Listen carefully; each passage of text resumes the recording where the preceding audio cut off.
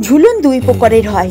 একটা হচ্ছে আধ্যাত্মিক আর একটা হচ্ছে জাগতিক। জাগতিক হচ্ছে নিজেকে আনন্দ দেওয়া নিজেকে জাগৃত করা, নিজে আনন্দ উপভোগ করা। আর একটা হচ্ছে আধ্যাত্মিক, যেটা ভগবানকে, চেতনার উৎসব, যেটা ভগবানকে আনন্দ দিয়ে নিজে আনন্দ পাওয়া এবং ভগবানকে আনন্দ দেওয়া তার মধ্যে থেকেই নিজের আনন্দ খুঁজে বার করা। ভগবান যদি আনন্দ পান, তাহলে সেই আনন্দটা, নিজের যে আনন্দ উপলব্ধি করা যায়, সেটা আধ্যাত্মিক আনন্দ বলা হয়। জাগতিক উৎসব যেটা, সেটা যেমন নিজেকে আনন্দ দেওয়া সেই উৎসবে কিছুটা আনন্দ মেলে, কিন্তু আধ্যাত্মিক উৎসবে সেটা একদম সময়ের সঙ্গে সঙ্গে ভগবানকে আনন্দ দিয়ে নিজে আনন্দ পাওয়া সেটা পুরো সব সময়ের জন্য। ভগবানকে আনন্দ দেওয়া মানে সেই আনন্দটা নিজে অনুভব করা, সেটা কিছুক্ষণের জন্য নয়, সেটা অনেকক্ষণ সারা জীবনের জন্য। সেটি হলো শ্রাবণ মাসের ঝুলন উৎসব। ভগবানকে আনন্দ দিয়ে নিজে আনন্দ পাওয়া ভগবানকে সুন্দর করে রাধা কৃষ্ণের মূর্তিকে দোল্লায় চাপিয়ে ঝুলন পূর্ণিমার দিনকে, ঝুলন পূর্ণিমা যেটা আমাদের একাদশীর দিন থেকে পবিত্র রোপণী একাদশীর দিন থেকে শুরু হচ্ছে, আর পূর্ণিমা পর্যন্ত চলবে। সেই সময় ভগবানকে যে আনন্দ দেওয়া সেই আনন্দ, চেতনার আনন্দ, এবং সেই নিজেকে জাগ্রত করে সেই আনন্দ পাওয়াটা, সেটাই হচ্ছে আধ্যাত্মিক আনন্দ। আমাদের বলরাম পূর্ণিমা রয়েছে। পূর্ণিমার দিনকে আমাদের, যেদিনকে ঝুলন যাত্রা সমাপন হচ্ছে, সেদিন আমাদের বলরাম পূর্ণিমা। তো আমাদের বলরাম পূর্ণিমাও সুন্দর করে পালন করব আর ঝুলন যাত্রাও সুন্দর করে পালন করব। রাধা কৃষ্ণের ঝুলন যাত্রা সুন্দর করে পালন করব। কেউ যদি এই ঝুলন যাত্রায় অংশগ্রহণ করেন, ভগবানকে দোল্লায় দোলায় ঝুলন দেন এবং সামনে দাঁড়িয়ে অংশগ্রহণ করেন চোখ দিয়ে, দৃষ্টি দিয়ে ভগবানকে দর্শন করেন বা দেখেন, তাহলে সে আর পুনঃ জন্ম হয় না। মানে যে দর্শন করবি, তার আর পুনর্জনম হবে না। সে সকল প্রকার পাপ থেকে মুক্ত হয়ে যায় এবং কৃষ্ণের প্রেমে ভক্তিতে সে ভগবান তাকে নিজের মতন করে, আমরা কথাই বলি না ভক্তের জন্য ভগবান, ভগবানের জন্য ভক্ত নয়। সেই জন্য ভগবানকে যদি দর্শন করা যায় এবং দোলনায় দোলানো যায়, তাহলে ভগবান তাকে নিজের ধামে নিয়ে যান এবং নিজের মতন করে তৈরি করে নেন। ভগবান তা ভগবান তাকে নিজের ধামে নিয়ে যান। কেউ যদি এক মুহূর্ত দর্শন করেন ভগবানের সামনে দাঁড়িয়ে, তাহলে কিন্তু সে এক যোগ্য কারণে উল্লেখ করা হয়েছে দোলেচ দোল গোবিন্দ। আর সে যদি সেখানে উপস্থিত থাকে, সমস্ত যজ্ঞের ফল প্রাপ্ত হন। দোলেছ দোল গোবিন্দ, স্কন্দ পুরাণে উল্লেখ করা হয়েছে, দোলেছ দোল গোবিন্দ চাপেচ মধুসূধন রথেচ বামনাং দিষ্ট, পুনঃ জনম পুনর্জনম পুনঃবিদ্যাঙ্গতে। দোলেচ দোল গোবিন্দ মানে শ্রাবণ মাসে শুক্ল একাদশী তিথিতে দোলেচ দোল গোবিন্দ ভগবানকে যিনি দোল্লায় দোলান। তিনটি জিনিস যিনি পালন করবেন, তাকে আর পুনর্জন্ম হতে হবে না। ভগবানকে যিনি দোলায় এবং ভগবানকে চক্ষু দিয়ে সুন্দর করে দর্শন করেন। চাপেচ মধুসূদন। চাপেচ মধুসূদন মানে ভগবানকে নৌকায়, যেটা নৌবিহার করা হয় বৈশাখ মাসে আমাদের অক্ষয় তৃতীয়ার দিন থেকে শুরু হয় আমাদের। ভগবানকে বৈশাখ মাসে চন্দনযাত্রা মহোৎসব, একুশ দিন ব্যাপী। ভগবানকে যিনি চন্দন লাগিয়ে নৌবিহার করান চাপেচ মধুসূদন বৈশাখ মাসে ভগ, মেষ রাশিতে অবস্থান করে সূর্য তখন। প্রচণ্ড গরমে ভগবানের প্রচণ্ড গরম লাগে, উত্তাপ লাগে। ভগবানকে চন্দন লাগিয়ে ভগবানকে শীতলতম করা হয় একুশ দিন ব্যাপী। অক্ষয় তৃতীয়ার দিন চাপেচ মধুসূদন, ভগবানকে চন্দন লেপন করি। আমাদের যে একুশ দিন ব্যাপী ভগবানকে শীতলতম করা হয় এবং চাপেচ মধুসূদন মানে নৌকায় চাপিয়ে নৌবিহার করা হয়, চন্দন লাগিয়ে ভগবানকে শীতলতম করা হয় এবং ভগবানকে ঠান্ডা ঠান্ডা হাওয়া দিয়ে নৌকায় করে দুলানো হয়, চন্দন লাগিয়ে। চাপেচ মধুসূদন। নমস্কার, ভগবান ধাম থেকে আমি আবার একটা নতুন ভিডিওর মাধ্যমে আপনাদের সামনে চলে এসেছি। আপনারা কেমন আছেন সকলেই? ভালো আছেন তো? আপনারা আমার পরিবারের সকল সদস্যদের বলছি, তো আপনারা সকলে ভালো আছেন তো? আপনারা সকলে নিজের যত্ন নেবেন, সকলে ভালো থাকবেন। তো আজকে যে ভিডিওটা নিয়ে এসেছি, সেটা হচ্ছে ঝুলন যাত্রা। কবে শুরু, কবে শেষ এবং কিছু মাহাত্ম। তো আমার সঙ্গে একটু চলুন, কষ্ট করে ধৈর্য ধরে লাস্ট অবধি তাহলে ঝুলন যাত্রা সম্বন্ধে অল্প কিছু আপনারা জানতে পারবেন। তো আমার সঙ্গে চলুন। ভগবান ধামে সকলকে স্বাগত। রথের বামনং দিষ্টা। রথের সময় ভগবানকে যদি অংশগ্রহণ করি, ভগবানকে রথযাত্রায় দর্শন করা হয়, রাস্তায় নেমে ভগবানকে রথের দড়ি ধরে টানা হয়, তাহলে ভগবান তাকে নিজের ধামে নিয়ে যান এবং পুনর্জন্ম আর হয় না। তাহলে আমাদের তিনটে কথা কি হলো? মাসি, নৌ, আমাদের কি? নৌবিহারে চাপে চ মধুসূদন মানে নৌকায় চাপিয়ে ভগবানকে নৌবিহার করানো। শ্রাবণ মাসে শুক্ল তিথিতে একাদশী তিথিতে ভগবানকে শ্রাবণ মাসে দোলেছ দোল গোবিন্দ আর আমাদের আষাঢ় মাসে রথযাত্রা মহোৎসব, যেটাই ভগবানকে অংশগ্রহণ করে, ভগবানকে আনন্দ দেওয়া হয়। ভগবান তাহলে আমরা যদি আষাঢ় মাসে রথযাত্রা দর্শন করি, ভগবান তাহলে আমাদের নিজের ধামে ফিরে, ফিরিয়ে নিয়ে যান এবং ভগবান তাহলে আর পুনর্জন্ম হতে দেন না। এক নিমেষকাল এই ঝুলনযাত্রা মহোৎসব ভগবানের সামনে দাঁড়িয়ে যদি অংশগ্রহণ করে, পদ্মপুরাণে উল্লেখ রয়েছে, দোলেছ দোল গোবিন্দ চাপেছ মধুসূদন এছ বামনন্দেষ্টা, পুনর্জন্ম পুনর্জন্ম ন বিদ্যতে। ভগবান তার ভক্তদের অনুগ্রহ বা কৃপা করার জন্য গোলকধাম থেকে ভুলোকে এসে লীলা রস আস্বাদন করেন। আর ভগবানের এই দিব্য লীলার আনন্দ মাধুরী শোভন করে ভক্তগণ ভগবানের প্রতি আত্মসমর্পণ করে অমৃত ভক্তি লাভ করেন। ঝুলন পূর্ণিমা, ঝুলন যাত্রা হলো হিন্দুদের ঝুলন উৎসব, যা হিন্দু দেবতা কৃষ্ণ এবং দেবী রাধারানীকে উৎসর্গ করা হয় এবং হিন্দু বৈষ্ণব সম্প্রদায়ের জনপ্রিয়ভাবে শ্রাবণ মাসে পালন করা হয় এবং এটা কিন্তু বর্ষা মৌসুমীর অধীনে পড়ে। আবহাওয়া গরম, আর্দ্র, সামান্য বাতাসযুক্ত হয়। রাধা, সে রাধা শ্রীকৃষ্ণের দেবতারা বিভিন্ন গয়না দিয়ে সজ্জিত হন। ফুল দিয়ে সাজিত, সজ্জিত এবং দোলনায় আলতোভাবে দলিত করা হয়। মূল মন্দিরটি হলো ফুল দিয়ে এবং সুন্দর করে সাজানো হয়। কৃষ্ণচন্দ্র শ্রীমতী, রাধারানীর দেবতারা সেজে ওঠেন এবং সজ্জিত ফুল দিয়ে সুন্দর করে ঝুলন স্থাপন করা হয়। ভক্তদের দ্বারা মিষ্টি কীর্তনের এবং দেবতাদের একটি বিশেষ আরতি দেওয়া হয়। পরে ভক্তরা দোলনায় তাদের প্রভুর কাছে সরাসরি ব্যক্তিগতভাবে সেবা তার সুযোগ পান। তখনকার দিনে বৃন্দাবনে কিন্তু এই ঝুলন যাত্রার খুব প্রচলন ছিল। শ্রাবণ মাসে সকলেই কিন্তু ঝুলন যাত্রায় ঝুলতেন এবং সকলে আনন্দ উপভোগ করতেন। তো রাধারানীর যত সখীরা ছিল সকলে কিন্তু বাপের বাড়ি যেতেন এই শ্রাবণ মাসে। এই শুক্ল পক্ষে আমাদের পবি- পবিত্র রোপণী একাদশী যেদিন থেকে আমাদের শুরু হচ্ছে সেদিন থেকে আমাদের যেমন ঝুলন পূর্ণিমা আরম্ভ হচ্ছে তার আগে সকলে বাপের বাড়ি যেতেন এবং গিয়ে খুব আনন্দ করতেন দোল্লায় দুলতেন সকলে মিলে।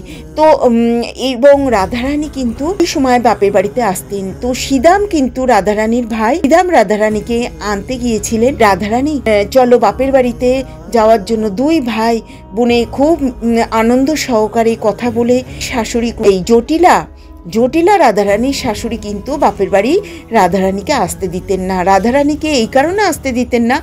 রাধারানী আসলেই কিন্তু কৃষ্ণের সঙ্গে দেখা করবে, সেই জন্য রাধারানীকে আসতে দিতেন না। তখন কিন্তু বুদ্ধি করে অনেক উপহার নিয়ে গেছিলেন শাশুড়ি জটিলা কুটিলা ননদের জন্য। সেই উপহার দেখা মাত্রই শাশুড়ি কিন্তু খুব আনন্দিত উপভোগ করেছিলেন এবং সঙ্গে সঙ্গে কিন্তু রাধারানীকে সিদামের সঙ্গে বাপের বাড়ি পাঠিয়েও দিয়েছিলেন। রাধারানী যখন বৃন্দাবনে চলে গেলেন বাপের বাড়িতে, তখন যাওয়ার সঙ্গে সঙ্গে সমস্ত রাধারানীর সখীদের কাছে খবর পৌঁছে গেল, রাধারানী এসেছে। এবং সঙ্গে সঙ্গে কৃষ্ণের কাছেও খবর পৌঁছে গেল যে রাধারানী চলে এসেছে। এখন দোল্লাগুলোকে সুন্দর করে রং বেরঙের ফুল, ফল, পাতা দিয়ে সুন্দর করে সাজানো হতো শ্রাবণ মাসের এই মরশুমে। মেঘ, বৃষ্টি, সুন্দর মৌসুমে বেশ সুন্দর আনন্দ মধুর সহকারে সেখানে সকলেই মিলে দোল্লায় রাধাকৃষ্ণ দুলতেন এবং সব সখীরা মিলে রাধাকৃষ্ণকে দোল দিতেন আর খুব আনন্দ উপভোগ করতেন। শ্রাবণী শীতল বাতাসে সুন্দর দোল দিচ্ছেন আর সুন্দর ঠান্ডা হাওয়াতে দোল খাচ্ছেন রাধাকৃষ্ণ। ললিতা, বিশাখা সকলে মিলে রাধাকৃষ্ণকে দোল দিচ্ছেন অষ্টসখীগণ। অষ্টসখীগণ এত জোরেই দোল দিচ্ছেন।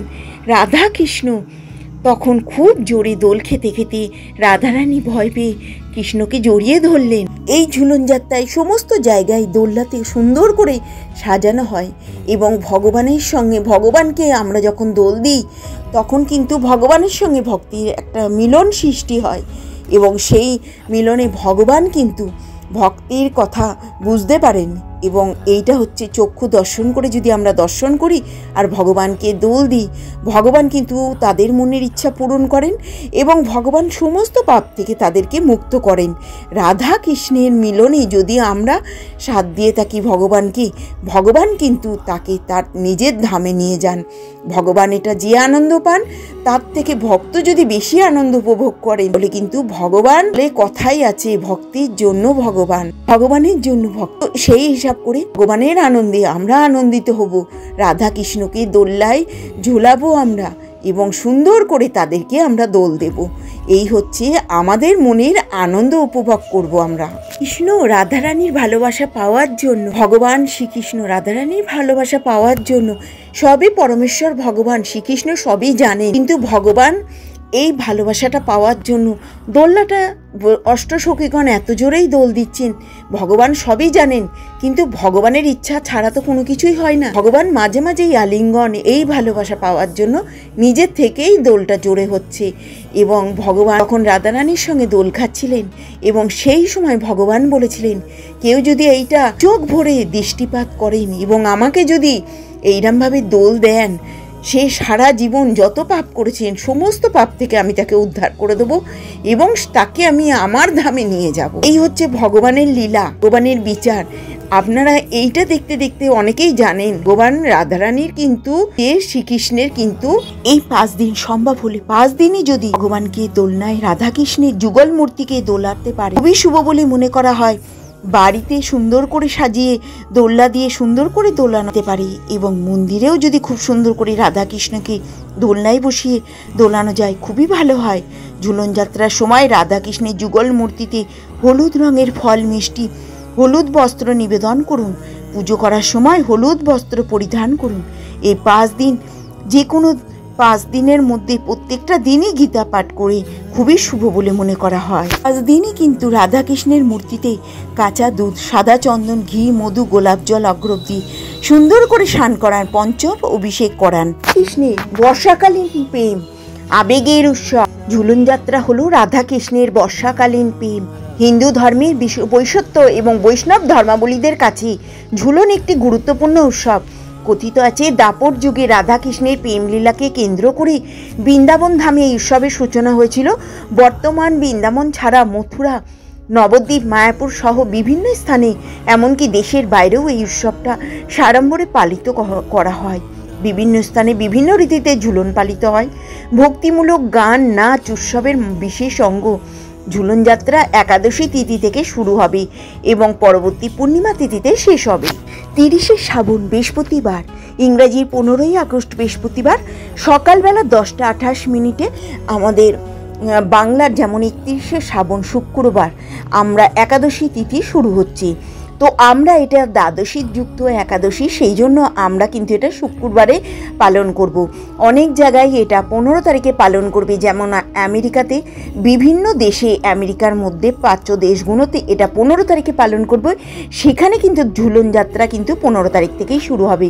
যেহেতু আমরা দ্বাদশী যুক্ত একাদশী পালন করব সেই জন্য আমাদের কিন্তু ঝুলন যাত্রা শুক্রবার থেকেই আরম্ভ হবে। আমাদের ঝুলন যাত্রা কবে আরম্ভ হচ্ছে? যেদিনকে আমাদের পবিত্র রোপণী একাদশী শুরু হচ্ছে, যেদিনকে সেই দিনকেই আমাদের ঝুলন যাত্রা আরম্ভ হচ্ছে। সেটা কবে? সেটা হচ্ছে ষোলোই আগস্ট শুক্রবার এবং চোদ্দোশো সাল, একত্রিশে শ্রাবণ, আর এটা দু হাজার চব্বিশ সাল ইংরাজির তো পবিত্রা রোপণী একাদশী যেদিনকে, সেদিনকে আমাদের ঝুলন যাত্রা শুরু হচ্ছে একত্রিশে শ্রাবণ শুক্রবার, ষোলোই আগস্ট। তো এটা ছ, সকালবেলা ছটা তিন মিনিট, একত্রিশ সেকেন্ডের মধ্যে ঝুলন যাত্রা। আমাদের পূর্ণিমা তিথি এখানে শুরু হচ্ছে যেমন দোসরা ভাদ্র রবিবার আর ইংরাজির আঠেরোই আগস্ট রবিবার এবং সময় হচ্ছে রাত্রিবেলা তিনটে ছয় মিনিটে, সোমবার ভোরবেলা রাত্রিরে এবং পূর্ণিমা তিথি শেষ হচ্ছে আমরা সোমবারে। তেসরা ভাদ্র মানে তিন তারিখের ভাদ্র মাসে তিন তারিখে এবং উনিশে আগস্ট সোমবার। এটা সময় হচ্ছে রাত্রিবেলা এগারোটা ছাপ্পান্ন মিনিট। তো এটা হচ্ছে শ্রীকৃষ্ণের ঝুলনযাত্রা সমাপ্ত হচ্ছে। আমাদের এক তারিখে ভাদ্র মাসে রবিবার এবং আঠেরোই আগস্ট রবিবারে আমাদের কিন্তু পূর্ণিমা তিথি আরম্ভ হচ্ছে এবং রাত্রির বেলা দুটো পঁয়ত্রিশ মিনিট সাতাশ সেকেন্ডে। আর পূর্ণিমা তিথি শেষ হবে দোসরা ভাদ্র মানে দু তারিখে ভাদ্র মাসে সোমবার এবং উনিশে আগস্ট সোমবার। রাত্রির বেলা বারোটা বিয়াল্লিশ মিনিট চুয়াল্লিশ সেকেন্ডে আমাদের শ্রীকৃষ্ণের পূর্ণিমা তিথি ঝুলন যাত্রার সমাপন। বিশুদ্ধ সিদ্ধান্ত পঞ্জিকা অনুযায়ী পূর্ণিমা তিথি পড়ছে। দোসরা ভাদ্র দু তারিখের ভাদ্র মাস। ভাদ্র মাসের দু তারিখ রবিবার। বলা হয় সোমবার ভোরবেলা, ইংরেজির আঠেরোই আগস্ট এবং রাত তিনটে ছয় মিনিটে। পূর্ণিমা তিথি ছেড়ে যাচ্ছে তিন তারিখে ভাদ্র মাসের সোমবার এবং উনিশে আগস্ট, রাত্রিবেলা এগারোটা ছাপ্পান্ন মিনিটে। এই সময় শেষ হবে শ্রীকৃষ্ণের ঝুলন যাত্রা। এখন শ্রাবণ মাস। মানে শিবের মাস। মাস সোমবার নয়, পুরো শ্রাবণ মাস বাবার মাস। যে কোনো দিন আমরা শিবকে পুজো করতে পারি। আমি আগেই ভিডিও দিয়ে দিয়েছি, বাবা তারকনাথের। ওই ভিডিওটা আপনারা পেছনে গিয়ে দেখে নেবেন। তবে একা মহাদেব নয়, হিন্দু শাস্ত্র মতে এই মাসে আরও একটি গুরুত্ব রয়েছে। এই মাসের মহাধুম নামে পূজিত হন স্বয়ং দেবাদিদেব, আরাধ্য ভগবান, সাংসারিক রক্ষাকর্তা, বিষ্ণুর অষ্টম অবতার শ্রীকৃষ্ণ। হিন্দুরা তাদের মধ্যে বিশেষত্ব বৈষ্ণবদের কাছেও এই মাস খুব গুরুত্বপূর্ণ। শ্রাবণ মাসের পূর্ণিমা তিথিতে অনুষ্ঠিত হয় বহু প্রতীক্ষিত ঝুলন যাত্রা। আসলে শ্রীকৃষ্ণের এই রাধা মাধব অমর প্রেমকে উদযাপনের জন্য এই বিশেষ পুজো। কথিত আছে দাপর যুগে রাধাকৃষ্ণের প্রেমলীলাকে কেন্দ্র করে সেজে উঠেছিল বৃন্দাবন ধাম। উৎসব মুখর হয়ে উঠেছিল। চারিপাশে আরও সেই থেকেই বৈষ্ণব ধর্মাবলী। তথা হিন্দুদের কাছে এই উৎসব মাহাত্ম অনেক। মথুরা, নবদ্বীপ, মায়াপুর সহ দেশের নানা প্রান্তে নানা রীতি পালনের মাধ্যমে উদযাপন করা হয় এই অনুষ্ঠানকে। ঝুলনে শুরু হয় একাদশী তিথি এবং শেষ হয় পূর্ণিমা তিথিতে। এইবারে কব থেকে শুরু, কবে থেকে শেষ, এইটা হচ্ছে আমি আগেই দিয়ে দিই শ্রীকৃষ্ণের পুজো এক বিশেষ ভূমিকা পালন করেন। তার সাথে শ্রীকৃষ্ণের ঝুলন উৎসব অথবা ঝুলন যাত্রা শুভ দিনে মাহাত্ম বহন করে নিয়ে আসে। যে সমস্ত ভক্তগণ ভগবান শ্রীকৃষ্ণের পুজো করে থাকেন তাদের জন্য সবচেয়ে গুরুত্বপূর্ণ উৎসবগুলির মধ্যে একটি উৎসব হলো, গুলির মধ্যে একটি উৎসব হলো শ্রীকৃষ্ণের ঝুলন উৎসব। এটি উৎসবটি বৈষ্ণবদের সবচেয়ে বড় এবং জনপ্রিয় ধর্মীয় অনুষ্ঠান। ঝুলন যাত্রা হলো ভারতের বর্ষাকালের রাধাকৃষ্ণের প্রেমের সাথে মিলিত আনন্দ উদযাপন করার একটি খুবই শুভ দিন ও আনন্দের দিন। বিভিন্ন জায়গায় এই ঝুলন উৎসব পালন করা হয়। যেখানে ধর্মাবলী বৈষ্ণব ধর্মের মানুষ বাসবাস করে, সেখানে কিন্তু এই ঝুলন উৎসব খুব মাহাত্মের সঙ্গে পালন করা হয়। ভারতের সমস্ত জায়গার মধ্যে মথুরা, পুরী, বৃন্দাবন, মায়াপুর এবং জায়গাতে শ্রীকৃষ্ণের ঝুলন যাত্রা উদযাপন জন্য সবচেয়ে বেশি বিখ্যাত ঝুলন যাত্রা শ্রাবণ মাসে পালিত হয়। শুক্লপক্ষের একাদশী থেকে পূর্ণিমার দিন পর্যন্ত, যাকে শ্রাবণ পূর্ণিমাও বলা হয়ে থাকে। রাখি বন্ধন উৎসব নামেও পরিচিত। সমস্ত বিশ্ব জুড়ে এই উৎসবের গুরুত্ব রয়েছে। সারা বিশ্বে হাজার হাজার ভক্তগণ, কৃষ্ণের ভক্তগণ পবিত্র শহর মথুরা, বৃন্দাবন, উড়িষ্যা, পুরী, পশ্চিমবঙ্গের মায়াপুরে গিয়েও ভিড় জমায়। উৎসবে অংশগ্রহণ করেন এবং বহু আনন্দের সঙ্গে এই ঝুলন পূর্ণিমা ঝুলন উৎসব পালন করেন। কৃষ্ণের মূর্তিগুলোকে বেদি থেকে সরানো হয় এবং ভারী অলংকার দেওয়া ও দোলনাতে স্থাপন করানো হয়। সকল ভক্তরা প্রচুর প্রেমের মগ্ন হয়ে পড়েন এই রাধাকৃষ্ণের মূর্তি দেখে। শ্রীকৃষ্ণের ঝুলন যাত্রা পাঁচ দিন ধরে চলে। এই পাঁচ দিনের মধ্যে সম্ভব হলে পাঁচ দিনই যদি যত সম্ভব হয় তাহলে কোনো একদিন রাধাকৃষ্ণের যুগলে মূর্তিকে দোলায় দিয়ে দোল দিতে পারেন, তাহলে খুবই শুভ বলে মনে করা হয়। তবে এই দোলনায় দোলাতে পশ্চিম দিক থেকে পূর্ব দিকে। এই পাঁচ দিন ভগবানকে আরতি করা হয় খুব সুন্দর করে। এই পাঁচ দিন গীতা পাঠ করা হয়।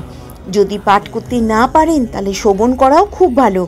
কাছে পিঠে মন্দির থাকলে সেখানে গিয়ে গীতা পাঠ শুনে আসতে পারেন এবং আরতি দেখে আসতে পারেন। ঝুলন যাত্রার সময় রাধাকৃষ্ণের যুগল মূর্তিতে হলুদ রঙের ফল, মিষ্টি, এছাড়া হলুদ বস্ত্র নিবেদন করতে হয়। তবে এই পুজো করার সময় নিজে হলুদ বস্ত্র পরিধান করতে পারলেও খুব ভালো। তবে এই উৎসবে পাঁচ দিন চেষ্টা করা হয়। সকালবেলা ঘুম থেকে উঠে সান সেরে নিত্য পুজোর আয়োজন করতে হয়। দিনগুলোতে ঝুলন যাত্রা এবং দোলনার সামনে তুলসী মঞ্চ ঘিরে প্রদীপ জ্বালিয়ে রাখতে হয় এবং ভগবানের সামনে যদি পারেন ভগবানকে পাঁচ দিন পঞ্চাভিষেক করতে পারেন। দুধ, দই, ঘি, শক্কর, মধু দিয়ে। এবং পাঁচ দিন যদি এটা পারেন, খুবই ভালো। এবং পাঁচটা ফলের রস দিয়ে ভগবানকে পঞ্চাভিষেক করবেন। এর মধ্যে অগ্রব এবং গোচনা দিয়ে দেবেন। এটাও খুব ভালো। আর আরতি করার সময় তুলসী গাছের কোষ্ঠকাঠের আরতি খুব ভালো। তুলোই জড়ি কোষ্ঠকাঠ এবং ঘিয়ের মধ্যে চুবিয়ে ভগবানের চরণে চারবার নাভিপৃষ্ঠে দুবার, মুখমণ্ডলে তিনবার, সারা অঙ্গে সাতবার খুব সুন্দর করে ভগবানকে আরতি করতে পারেন। তবে এটা কিন্তু কার্তিক মাসে আমাদের এই আরতি করা হয়, ভগবানকে দীপদান করা হয়, সেটা কিন্তু আপনারা যদি এই ঝুলন যাত্রা যতদিন চলবে, সেই ঝুলন যাত্রা চলাকালীন যদি ভগবানের সামনে আরতি করেন, খুবই ভালো। ভগবান খুব সন্তুষ্ট হয়ে যাবেন আপনার প্রতি প্রসন্ন হয়ে যাবেন এবং ভগবান চেষ্টা করবে। তাহলে আপনার কিন্তু আর জন্ম হবে না এবং ভগবান নিজের ধামে আপনাকে সঙ্গে করে নিয়ে যাবে। ভগবান কিন্তু খুব প্রসন্ন হন যদি এই পঞ্চবিষেক করেন ফলের রস দিয়ে, দুধ দই, ঘি, শক্কর, মধু দিয়ে এবং ভগবানকে যদি আরতি করেন কর্পূরদানি এবং কোষ্ঠকাঠ এবং পঞ্চপ্রদীপ দিয়ে ঘিয়ের প্রদীপ, মাটির ঘিয়ের প্রদীপ, অতি অবশ্যই জ্বালাবেন ভগবানের সামনে। তুলসী গাছকে প্রদক্ষিণ করবেন, তুলসী গাছে জল দেবেন। তো এই পাঁচ দিন আপনারা যদি করেন, ভগবান বিষ্ণু, ভগবান কৃষ্ণ খুবই প্রসন্ন হয়ে যান। তবে আমরা কিন্তু পুজোর শেষে শাক বাজাই, তিনবার করে, কিন্তু শ্রীকৃষ্ণের ঝুলন যাত্রায় পাঁচ দিন, পাঁচবার করে শাক বাজানোর নিয়ম রয়েছে। তবে শাক, শাকটাকে একটা লাল কাপড়ে মুড়িয়ে উঁচু জায়গায় রাখলে খুবই ভালো। তবে এই ঝুলন যাত্রার দিনে যেমন আমরা শাক বাজাই, তেমনি কিন্তু আমরা বাবা তারকনাথের পুজোর সময় কিন্তু আমরা শাক বাজাবো না। আমরা শ্রাবণ মাসে বাবা তারকনাথের মাথায় পানি শঙ্খে জলও দেব না এবং বাবা তারকনাথের মাথায় আমরা সামনে জল দেব না এবং শাকও শঙ্খ বাজাবো না। বাবা তারকনাথকে ঘণ্টা বাজিয়ে আমরা কিন্তু আহ্বান করব, ঝুলন যাত্রা চলাকালীন যদি কোনো ভিখারি বাড়িতে আসেন তাহলে খুব ভালোভাবে তাকে ভিক্ষা দেবেন এবং পেট ভরে খাবার খাওয়াবেন, ফেরাবেন না, গরিব দুঃখীকে দান করবেন। সন্ধেবেলা কোনো কিছু দান করলে মানুষকে খুবই ভালো। শ্রীকৃষ্ণের ঝুলন যাত্রা চলাকালীন সন্ধেবেলা কোনোভাবেই ঘর ঝাটফাট দেয়া যাবে না। রাধা কৃষ্ণের উদযাপনের উৎসব, ঝুলন উৎসব, এই সময় রাধা কৃষ্ণের যুগল মূর্তিকে বিশেষভাবে সাজানোর নিয়ম রয়েছে, অলঙ্কার পরানোর নিয়ম রয়েছে, সেই সঙ্গে সাজানো হয় কৃষ্ণ মন্দিরগুলোতে। তবে গ্রাম বাংলার ঝুলন যাত্রা পালনের এক নিজস্ব রীতি রয়েছে, ঘরোয়াভাবে বিভিন্ন পুতুর খেলনা দিয়ে সাজানো হয়, যেহেতু এটি একটি প্রেমের উৎসব। সেই কারণে শুধুমাত্র রাধাকৃষ্ণ নয় ঝুলন উৎসবের অঙ্গ হিসাবে জড়িয়ে রয়েছেন গোপীরাও। কৃষ্ণপ্রেমে মগ্ন হয়ে তারা সকলেই মোহন। মদন মোহনকেও ঘিরে নৃত্য করতে থাকেন স্বয়ং কৃষ্ণকে। সেই তালে তা এবং তালে পা মেলান। দেশের বিভিন্ন কৃষ্ণ মন্দিরে এই ধরনের মূর্তি দেখা যায়, ঝুলন উৎসবের সময়। কৃষ্ণ মন্দিরগুলোতে রাধা কৃষ্ণের যে মূর্তিতে প্রতিদিন পুজো করা হয়, সেই মূর্তিতে এক বিশেষ শুভদিনের দোলনায় বসিয়ে রাখা হয়। ভক্তরা ঘিরে ধীরে ধীরে এই দোলনা এবং রশ্মিতে টান দিতে থাকেন আর মন্দির কৃষ্ণধ্বনিতে মুখরিত হয়ে ওঠে। বৈষ্ণব মতে এই ঝুলন আসলে শ্রীকৃষ্ণের অন্যতম লীলা মাত্র। তবে শাস্ত্রে ঝুলন উৎসব পালনের বিশেষ গুণের কথা উল্লিখিত রয়েছে। তবে ঝুলন শুধুমাত্র একদিন পালিত হয় না, এই উৎসব পালিত হয় পাঁচ দিন ধরেই এবং আমাদের সূর্যচন্দ্র পঞ্জিকা অনুযায়ী একাদশীর দিন থেকে শুরু হয়, পরবর্তী পূর্ণিমা তিথিতে শেষ হয়। এই সময়টা জুড়ে রাধাকৃষ্ণের যুগল মূর্তিকে ঘিরে চলে ভক্তদের উন্মোদনা। কৃষ্ণ মন্দিরের মতন বাড়িতেও এই ঝুলন উৎসব পালন করা যেতে পারে। খুব ভক্তি ও নিষ্ঠার সাথে ফলে ভাগ্য বদলের সম্ভাবনাও রয়েছে। গৃহস্থ পরিবারে শ্রীকৃষ্ণের এই বিশেষ বিশেষ উৎসব পালন করা হয়, খুব শুভ বলে মনে করা হয়। এই আপনি চল- চালালে নিজের মন, মতন করে সুন্দর একটি দোলনা সাজিয়ে নিজের কৃষ্ণ মন্দিরে অথবা বাড়ির মন্দিরে এই উৎসব পালন করতে পারেন। শ্রীকৃষ্ণ, রাধা দুজনকেই আরাধনা করা হয়। রাধা কৃষ্ণ দুজনকেই আরাধনা করার বিশেষ সময় এটি। পাঁচ দিন বাড়ির রাধাকৃষ্ণের মূর্তিটিকে ফুলমালা দিয়ে সাজানো যেতে পারে। সম্ভব হলে এটি দোলনায় তৈরি করে অথবা কিনতেও পারেন। এখানে রাধাকৃষ্ণের মূর্তি রাখুন। যদি মূর্তি না থাকে, তাহলে রাধাকৃষ্ণের ছবি ব্যবহার করা যেতে পারে। তবে ফুল দিয়ে কৃষ্ণের পূজা করা যেতে পারে। লাল ফুল ব্যবহার করা যেতে পারে। মূর্তির পোশাকের ক্ষেত্রে দুটি রং খুব ভালো, শুভ হলুদ এবং সাদা। শ্রীকৃষ্ণের খুবই পছন্দের রং। শ্রীকৃষ্ণের ঝুলন যাত্রা চলাকালীন নিরামিষ আহার গ্রহণ করাটাই খুব ভালো। এই সময় বাড়িতে আমিষ খাওয়া একবারে উচিত নয়। ভক্তি ভরে সকাল সকাল স্নান করে শ্রীকৃষ্ণ মূর্তি সাজিয়ে নিতে হবে। তারপর নিজের মতন করে মূর্তি আরাধনা করা যেতে পারে। এবং আমরা পুজোয় করি না করি, ঈশ্বরের পছন্দ ভোগ নিবেদন করতেই ব্যস্ত থাকি, সেক্ষেত্রে শ্রীকৃষ্ণের পুজোয় ভোগ নৈবেদ্য অর্পণ করতে হবে খুব সুন্দর করে। শ্রীকৃষ্ণের পছন্দের ভোগ পায়েস, দুধের ক্ষীর, মালপোয়া অর্পণ করতে পারেন, সেই সঙ্গে তুলসী মঞ্জ সাজিয়ে খুব সুন্দর করে ভগবানকে সেবা দিতে পারেন। প্রতিদিন নিয়ম করে তুলসী মঞ্জ প্রদীপ দিয়ে জ্বালানো যেতে পারে। সব সময় বিশেষ করে অবশ্যই মাথায় রাখতে হবে। বাড়িতে ঝুলন সাজালে সন্ধেবেলা কখনোই ঝাড় দিতে নেই এবং বাড়িতে কেউ ওই সময় সাহায্য চাইতে এলেও তাকে ফেরাতে নেই। এইভাবে যদি সমস্ত নিয়ম, বিধি, নিষেধাজ্ঞা মেনে শ্রীকৃষ্ণের ঝুলনযাত্রা বাড়িতে পালন করা হয়ে থাকে কৃষ্ণের আশীর্বাদ আপনার ভবিষ্যতের জন্য খুবই ভালো এবং ভগবান কিন্তু সমস্ত সমস্যাও কেটে যাবে এই শ্রীকৃষ্ণের যদি ঝুলন যাত্রা নিষ্ঠা সহকারে যদি এই পাঁচ দিন ভগবানের সেবা করা যায় ভগবদ গীতা পাঠ করা যায়, ভগবানকে চন্দন লাগিয়ে তুলসীপত্র অর্পণ করা যায়, ভগবানের শ্রীচরণে এবং ভগবানকে সুন্দর করে সেবা দেওয়া যায় এবং মা ফুলের মালা, নিত্য নতুন ফুলের মালা দিয়ে ভগবানকে এই পাঁচ দিন খুব সুন্দর করে আরাধনা করতে হবে এবং ভগবদ্গীতা পাঠ করতে হবে।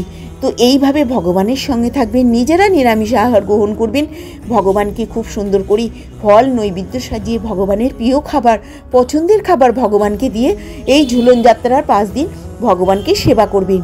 আনন্দের সহকারে, আনন্দের সঙ্গে এই পাঁচ দিন আপনারা একদিনও করুন এই কাজটি। গঙ্গা জল ভরা একটা তামার ঘটিতে গঙ্গা মাটি সামান্য এবং গঙ্গা জল, তার মধ্যে তুলসী পত্র এবং জব, ইন্দ্র জব একসঙ্গে মিশিয়ে তামার পাত্রের উপর শ্রীকৃষ্ণের অভিষেক করুন। এর ফলে বাড়িতে নানান ধরনের উন্নতি দেখা যায়। শুধু মথুরা বৃন্দাবনের মতন ঝুলন উৎসব ঐতিহ্য সুপ্রাচীন শুধুমাত্র রাধাকৃষ্ণের যুগল বিগ্রহ দোলনায় স্থাপন করে হরেক আচার অনুষ্ঠান উৎসব নয়, এর সঙ্গে জড়িয়ে আছে সামাজিক সাংস্কৃতিক অনুষ্ঠান।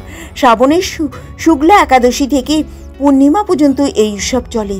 এই উৎসব বনিদি বাড়িগুলোতে মঠ, মন্দিরে ধর্মীয় আচার অনুষ্ঠানের পাশাপাশি এবং ঝুলন করে ছোটদের বসিয়ে সুন্দর করে সাজানো হয় এবং রাস্তায় বের করা হয় ভগবানের সঙ্গে সঙ্গে ছোট ছোট বাচ্চাদের নিয়ে এবং মাটির পুতুল, কাঠের দোলনা, গাছপালা নিয়ে সুন্দর করে সাজিয়ে রাস্তায়ও সুন্দর করে বিগ্রহ নিয়ে রাসের মতন করে বার করানো হয়। তবে কলকাতায় একটা বাড়ির কথা বলছি, ঝুলন বাড়ি যেটা। বউবাজারের রামকানাইয়ের অধিকারীর বাড়ি। প্রায় দুশো বছর আগে পরিবারের আদিপুরুষ কৃষ্ণমোহন অধিকারী ঝুলন উৎসবের প্রচলন করেছিলেন এবং পদ্য রামকানাই অধিকারী সাড়ম্বরে এই উৎসব প্রচলন করেছিলেন।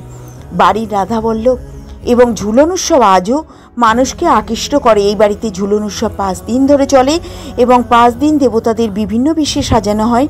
রাখাল বেশ প্রথম দিন রাখাল বেশ, দ্বিতীয় দিন যোগী বেশ, তৃতীয় দিন সুবল বেশ, চতুর্থ দিনে কোটাল বেশ, শেষ দিন রাজবেশ প্রথম দিন হোম করে ঝুলন উৎসবের সূচনা হয়। এরপর দেবতাকে একদিন আর একদিন ভোগ নিবেদন করা হয়। পুরনো ঐতিহ্য বজায় রেখে আরও পাঁচ দিন এই উৎসবের আত্মীয় সমাগমও হয়।